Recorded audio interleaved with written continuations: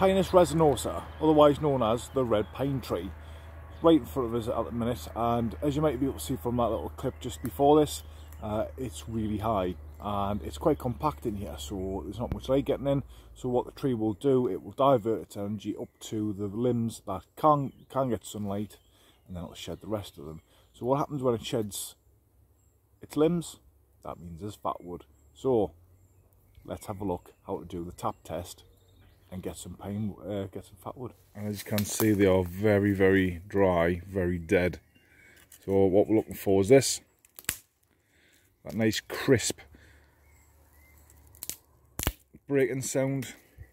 And that means it's nice and dry nice and seasoned and the tree doesn't need it anymore. So so what you'll need is you'll need a saw folding saw preferably right so I'm, first of all what I'm looking for is I'm checking sort of how much wiggle room's in there. And then if I go to this side I'm going to tap it. Now listen. Sounds quite hollow. Move along. Sounds a bit more stable. Move down to the next sort of spider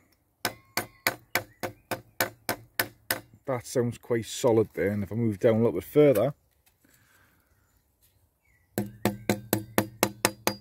that sounds absolutely solid there so what I'm doing is I'm going to tap until I can hear an actual change in tone. So I just marked where that where that, that tone change was.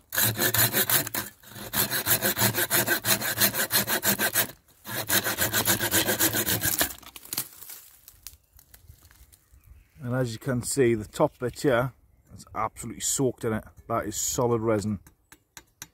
So that means there's probably a lot more in there as well. So what I'm going to do is I'm going to carve this all the way down to the limb.